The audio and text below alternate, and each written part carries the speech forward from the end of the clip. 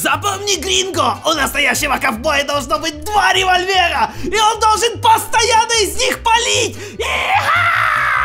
Не слушайте этого безумного Мекса. На самом деле главным оружием ковбоя был не револьвер, а винтовка или дробовик.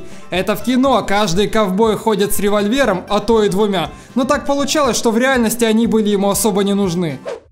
Что значит не нужны? Почему? Винтовка была дальнобойнее и точнее револьвера. Из нее было проще попасть на расстояние в бандита. Дробовик же полезнее во время перегонки скота или охоты. И в ближнем бою он был не менее эффективен, чем револьвер. Да и пользоваться им было даже легче.